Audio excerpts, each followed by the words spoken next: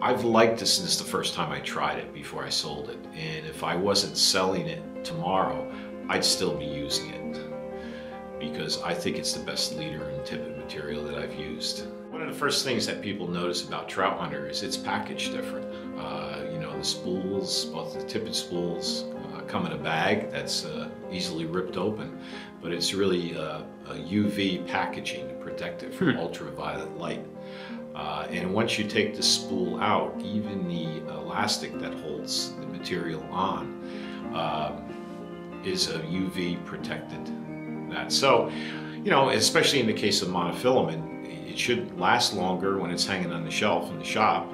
And when someone buys it, you can be pretty assured that it's fresh material. What I really like about the Trout Hunter offerings in Tippet is, first of all, the nylon offering. I find that it's really supple, has a lot of really good stretch, and I don't feel that I break off very many fish.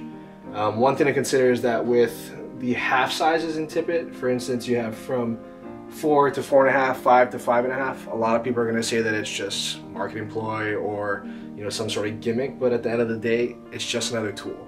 It's something that you have an option to turn to. You know, I think that they offer a lot of different configurations you don't see as a standard leader length, for example.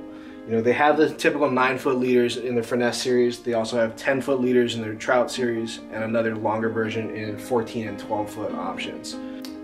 You know, Henry's Fork, there are a lot of uh, Japanese visitors that come there. And uh, I guess when René and the folks there got an idea of looking at doing some of this, they knew quite a few people that, you know, with contacts to find the very best factories to, uh, to get it uh, out of.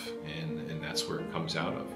You look at it, you see the brand, you know that it's tested. You know that it's been tested and tried on the Henry's Fork in Idaho. Um, you know that they have big fish there, you know they have wild fish, and it's a notoriously tough fishery. And if this is something that they're willing to put their name on, you know that you can trust it for that.